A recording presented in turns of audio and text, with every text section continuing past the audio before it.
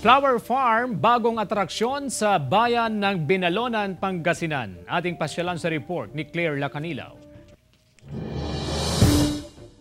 Nagagandahan, makukulay at nakamamanghang tanawin ng mga bulaklak, yan ang bagong atraksyon ngayon sa isang flower farm sa Sitio Lubas, Barangay Santa Catalina, Binalonan, Pangasinan. Matitingkad na kulay ng mga bulaklak at sariwang hangin ang bubungad pagpasok pa lang ng farm. Kung ang hanap mo ay malaparaisong pasyalan kahit sa panahon ng pandemya, ito raw ang perfect Instagrammable spot. Sa halagang 25 pesos, pwedeng pwede mo ng pasyalan ng flower farm. mawawala po yung mga naging problema, parang ganun po.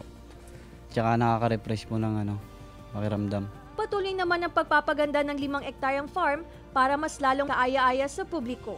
perfect pasyalan to na yung mga gustong pumun- pumunta dito kahit ah, ngayong panahon ng pandemic makaka-relax po kayo dito pum- pag pumunta po kayo dito.